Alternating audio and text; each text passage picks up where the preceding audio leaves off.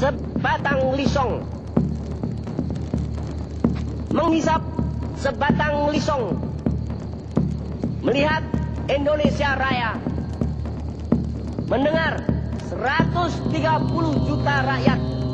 Rendra itu seperti dianugerahi Allah buatan yang sangat lengkap. Dia minta backdropnya bendera merah putih. terang benderang jelas dan tinggi besar menjulang. Nah yang terang itu bisa bayangkan itu lantai Dan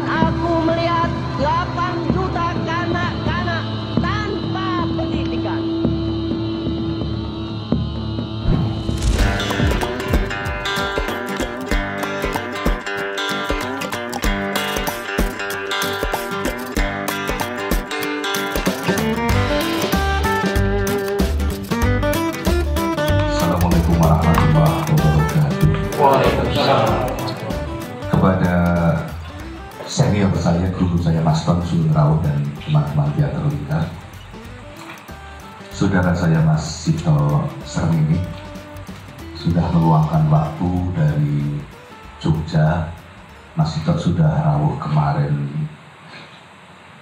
siang. Mas Sito ya. Nah, tolong bawa keploi bang gitu. rasanya tidak ada seniman yang tidak terpukau kepada Rendra. Rendra itu seperti dianugerahi Allah buatan yang sangat lengkap. Lengkap. Mungkin malah surplus itu. Nah aku kartunis gitu ya. Ini gambar wajahnya Mas Willy itu itu sangat sangat bergairah karena garis-garisnya membimbing membimbing. Aku pengen kok diceritakan disiplin seorang Willy Bro, Surendra Broto yang penting kita tiru itu. Karena kedisiplinan itu aku gak ngerti saya. Mau dari penyair baik. Rendra itu kok punya kedisiplinan sih. Aku tanggapan masih.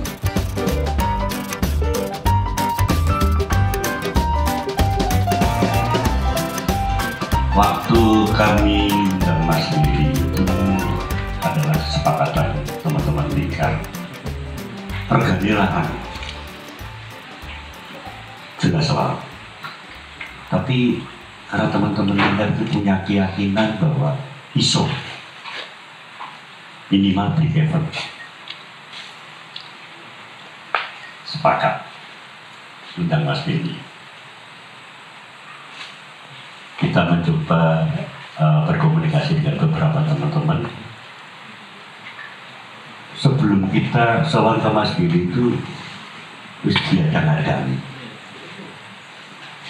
gue bakal nemoni karo pihak ini, ini, ini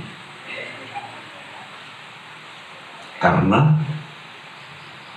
pena itu lebih tajam daripada peluru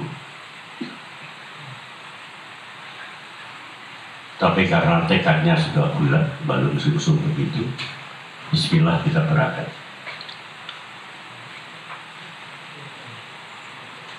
Ketemu Mas Weli, Mbak Ken, istrinya, nego harga jadi. Saya nggak usah sebut nominalnya, karena pada waktu itu kalau untuk membeli kendaraan hijau iso kita hanya punya semangat waktu itu, tidak punya modal apa-apa.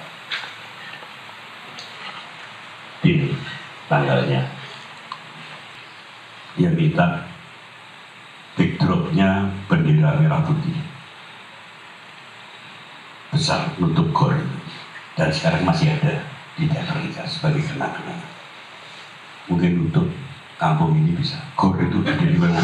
Gue background bendera merahnya besarnya segitu Mas Willy seorang Mas Willy yang 170 sekian gitu Wong siji tapi beliau sungguh luar biasa bisa mengalahkan bendera merah putih yang ada di belakang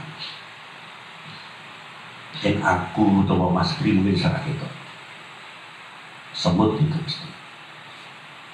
tapi itu beliau keluar seperti apa kata Mas Kri dengan tangan mengepal itu luar biasa Tapi sebelum dia naik ke panggung, kira-kira sekitar 8-10 jam sebelumnya dia minta sama saya. Mas Ron saya sediakan tiket untuk kolega saya. Sekian puluh. Ternyata Mbak Ken, istrinya itu paham atas kegelisahan saya. Tidak. Nggak boleh. Paling hanya empat untuk beli. Lainnya suruh beli. Luar biasa. Rendera nggak berani apa-apa. Tetapi Mas Sewu, begitu acara mulai jebret, itu saya senjengani bludus kayak Mas Fri tadi, salah satunya Mas Fri. itu luar biasa. Kerjasama dengan kepolisian, dengan aparat gitu ya. Tempel, masuk, tempel masuk. Akhirnya penuh tapi pendapatan tidak seperti yang kita harapkan. Ini caranya untuk kerugian ini. Yang penting pihak keluar sudah oke, kita pinjam pada seseorang.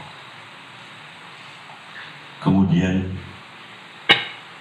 uang yang kita pinjam itu pada malam itu, pada hari itu, kita tutup dengan kita harus menggadekan sebuah BPKB kendaraan. Itu wirnya Pak Kirno, mantan rektor Untan.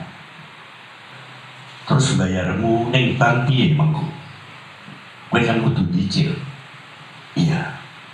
Ternyata Mas Gatot ini memberikan solusi yang sangat luar biasa. Mas per bulannya aku engko sing bayar. Ning sampean punya hutang pada saya. Cara membayar kue pentas setiap kamu laba bayar hutang. Jadi bayar utang karo Pak Gatot sing nutup bunga cicilan bank itu dengan pementasan lingkar. Itu kira-kira jalan sekitar tiga tahun baru lunas hutang itu. Peristiwa ini sungguh sangat mendewasakan teman-teman teater lingkar. Dan Gusti Allah ngerti ini mungkin buah dari keikhlasan kita.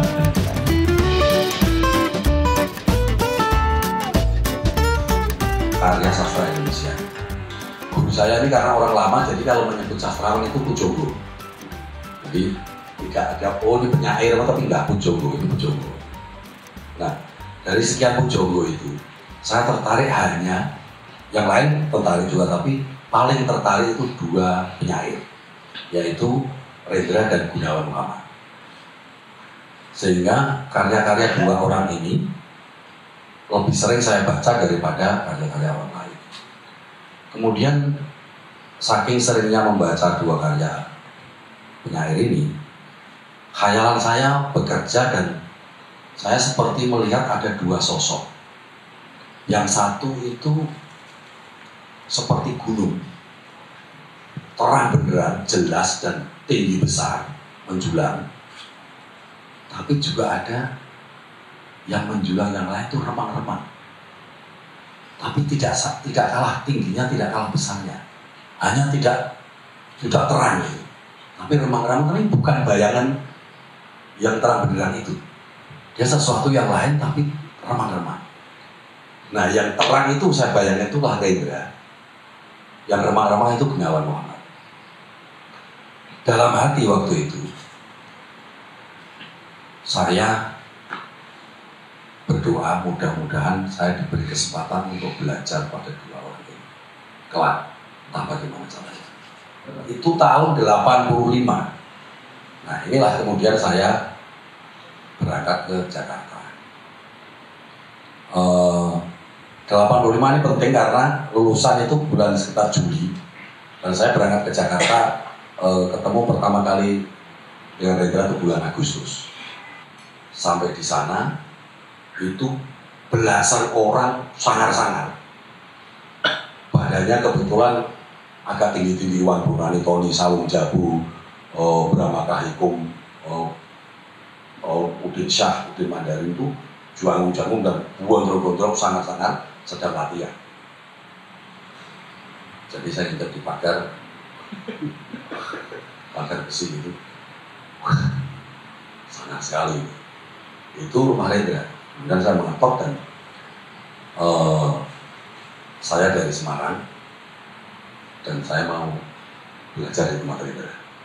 setiap orang yang tinggal di sini, ya setiap orang mempunyai tugas sendiri-sendiri. Itu disebut tugas rutin. Tugas rutin itu menjadi tanggung jawab perorangan dan tidak boleh digantikan atau dibantu orang lain. Koleksi bukunya Rendra semua dindingnya itu rak buku. Wah saya keranjingan. Jadi saya membaca Rendra nggak ada belum pulang. Saya membaca gonta ganti terus. Kadang yo banyak yang nggak tamat juga, tapi karena saking menariknya tuh gonta ganti gonta ganti. Sementara yang lain mengerjakan tugas rutin beberapa hari terjadilah kemudian kecelakaan yang pertama atau tekanan yang pertama. Tentu saja kamu bisa bayangkan ya ketika semua orang lain bekerja dan saya diam dan membaca. Ini orang entah siapa, statusnya nggak jelas, jadi terjadilah kejengkelan. Jadi saya ditunjuk dan itu itu saya berantem pertama kali. Kemudian eh, Mbak Ida mempersilahkan saya tidur dengan cowok. Ini benar-benar kamar satu kamar dan diberi nama itu namanya jahit saya di Jakarta yang dari Palembang itu pas saya sedang benar-benar tertidur saya ditendang dengan umpatan yang seperti diumpatkan Rendra. Rendra itu waktu itu anti militer. Jadi memaki-maki saya bahwa emang kamu siapa? Kamu Soeharto atau Benny Morgani gitu. Jadi bayangkan ini gambaran bagaimana murid-murid Rendra mengkopi kebiasaan Rendra. Sampai ungkapannya aja begitu. Jadi saya ditendang dan kemudian karena saya benar-benar kaget saya bereaksi dan berantem dengan jahit karena saya punya selimut jahit tuh ngebutin dengan selimut dan aku antilin kepalanya tapi kamu mau jadi jagoan ya? enggak kamu sudah belum satu minggu sudah dua kali berantem terus saya jelaskan kenapa saya berantem wah itu bagus itu kamu membela hak kamu itu jadi saya mendapat dukungan. Kemudian, oke, okay, ya sudah, kamu boleh di sini dulu lah. Kamu lihat-lihat dulu aja. Tapi berapa hari itu benar-benar saya nggak disapa aja nggak. Ya udah jatuh ya. Tapi saya disapa aja nggak. Nah, karena saya disapa Rendra juga enggak dan nama-nama yang lain-lain itu juga saya tidak akrab. Jadi kalau malam di atas kamar ruang makan dan dapurnya itu ada dak untuk jemuran. Jadi kalau malam saya naik ke sana dan saya nembang juga. Gue langut-langut tuh ya menghayati menghayati kesengsaraan gitu. Nah, rumahnya Mbak Ida menyimak. Justru karena suara jelek itu, kemudian Mbak Ida welek kok nyanyi. Kemudian intinya kemudian saya bercerita sedikit tentang Bapak Tanah Jawa. Besoknya saya dipanggil Rendra. Kamu katanya suka nembang ya? Ya nembang-nembang aja mas. Kamu katanya bercerita kepada Mbak Eda tentang Bapak Tanah Jawa. Iya. Ya sedikit yang saya tahu aja. Dan itu saya diberuntung pertanyaan dan semua jawaban saya disalahkan. Jadi semua jawaban saya disalahkan.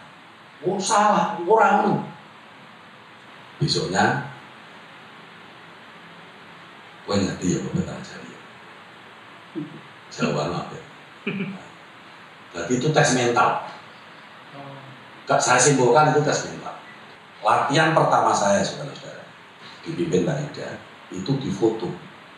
Semua difoto. Kemudian habis latihan e, sinur yang dulu berantem saya itu tadi suruh nyuci dan ditempel di karton karton gede foto latihan tadi Nah karena semua dinding penuh dengan buku, maka dia ditempel di pintu kamar masuknya Mas Willy. Saya ini antara beruntung dan sial. Itu hampir ada bedanya. Jadi kalau malam tidur berada tadi, Mas Willy itu narik-narik jempol saya. Terus, terus nah, di seberang meja makan tadi, yang merangkap dapur tadi, itu ada taman kecil yang itu satu-satunya bagian yang terbuka dan ada pintu geseknya, jelek gitu. Itu saya dimasuk, kamu masuk itu. Gitu. Kamu berdiri di situ dan merasakan angin dan air yang kena uh, tubuh kamu. Terus apa? Wah menang wae, wah wes kowe nang kono menang wae. Ya menang. Tapi di malam hujan angin terus anu bangun terus Nah. kemudian saya diberi tanggung jawab pertama itu ngepel lantai sebelum jam 6 pagi harus dengan tangan eh, dengan lap dan dengan tangan habis ngepel lantai itu kira-kira berapa bulan itu kemudian saya diganti dengan ngelap kaca sama sebelum jam 6 pagi gini ngelap kaca itu satu, kenapa harus kamu lakukan sebelum jam 6 pagi? Karena kalau jam 6 pagi, semua orang di sini sudah memulai aktivitasnya. Jadi kalau semua orang beraktivitas dan kamu masih mengelap lantai, mengepel lantai, maka apa yang kamu lakukan mengganggu aktivitas orang lain. Mengerti? Jadi kamu boleh melakukan apa saja, tapi jangan sampai mengganggu orang lain. Yang kedua, kenapa harus jam 6 pagi harus selesai? itu soal disiplin waktu dan ketepatan. Kenapa tidak boleh pakai waktu? Itu akumulasi energi. Supaya tubuh kamu, energi kamu itu terbentuk. Nah, yang terakhir dia bilang, yang tidak kalah penting. Mas Willy tidak tahu di sudut mana yang sebenarnya tidak kamu. Mungkin di lorong-lorong sana, orang lain mungkin tidak tahu. Tapi kamu tahu mana kalau ada bagian yang tidak kamu. Itu kejujuran kamu. Kamu latihan kejujuran. Kamu boleh menipu siapa saja. Yang kamu tipu mungkin tidak tahu. Tapi kamu tahu ketika kamu menipu dirimu sendiri. Setiap ada Mas Willy wawancara. Uh, Sito, nanti Mas Willy ada wawancara jam sekian. Kamu duduk di sana. Ya. Terus saya ngapain? Duduk saja tidak boleh bicara, kamu dengarkan, kamu simak. Rupanya setelah itu, ini masih magang saya. Saya diangkat menjadi asisten pribadi Rendra. Dan itu heboh. Yang tua-tua ya tentu saya itu yang saya anggap antara keberuntungan dan kesialan itu sama saja. Jadi tekanan saya makin menjadi dari pihak yang lain-lain. Tahun 96 Mas Budi eh, produksi pertama Panembahan Reso. Lalu pada permulaan produksi Panembahan Reso itu diadakan pengangkatan anggota baru. Pengangkatan di Teater waktu itu dengan cara membaptis. Ya.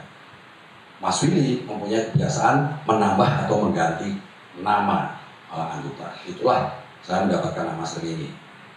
Itu setiap kali saya datang latihan ke Jalan Sarikaya, ya udah itu mulut-mulut senior itu anak mas datang, anak mas datang, segala macam Nah, setiap anggota Bengkel Teater waktu itu harus latihan silat.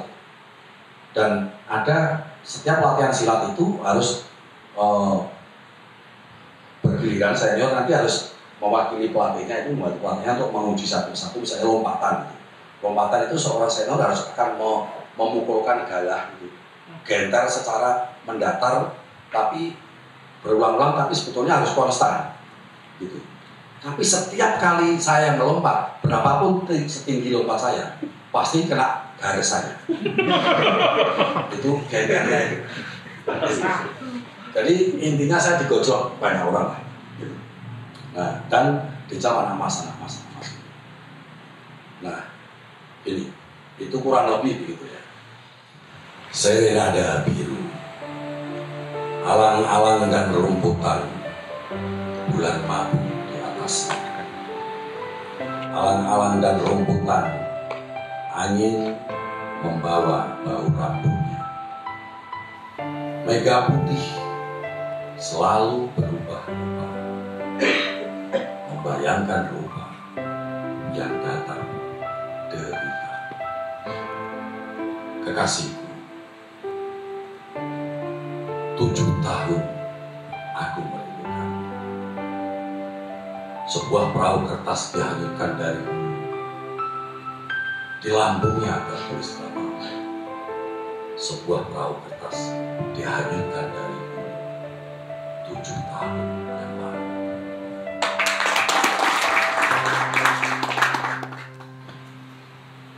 Menurut saya bakat itu kadang-kadang kita cuma rumongso rumongso berbakat dan saya melihat senior-senior sekali saya banyak sekali yang rumongso berbakat itu sampai tua Rendra memberikan banyak pelajaran yang bahkan terasa aneh, seolah-olah tidak terkait langsung dengan kesenian. Misalnya itu tadi, eh, apa lantai kaca, mau melihara perpustakaan.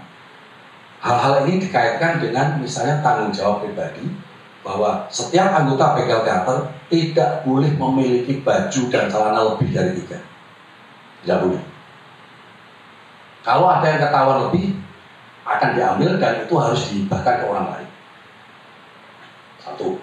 Kedua, setiap anggota begal teater tidak boleh meminta rokok kepada teman yang lain, kecuali kalau diberi. Kalau diberi boleh menerima, tapi meminta tidak boleh. Anggota begal teater tidak boleh meminjam pakaian atau sandal, tidak boleh. Nah, kemudian latihan harus seketika. Rendra satu-satunya orang yang mempunyai otoritas boleh memanggil anggota begal teater kapan saja dan tidak boleh dibantah. Rendra bilang namanya call begal teater. Call begal teater harus ditaati oleh semua anggota begal teater, tidak peduli hujan atau panas. Kalau perlu kamu berangan kamu harus datang. Nah, saya mau enak teman. Dan aku lor piye?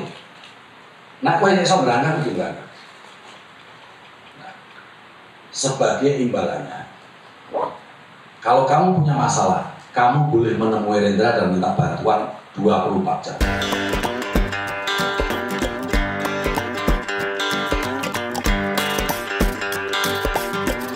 Ada banyak penyair di Indonesia maupun di dunia.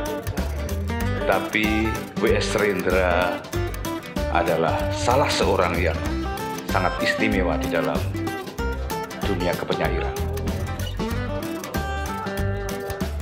Menjadi yang istimewa bahkan di dalam dunia yang Anda jalani sebetulnya sebuah keharusan. W.S. Rendra. Adalah seorang seniman yang besar karena dia mempunyai dedikasi, loyalitas, dan konsekuen dalam menjalani kesenian. Eh, dia mengorbankan banyak sekali kemungkinan lain, tetapi eh, demi memperjuangkan mutu dan keberhasilan kesenian.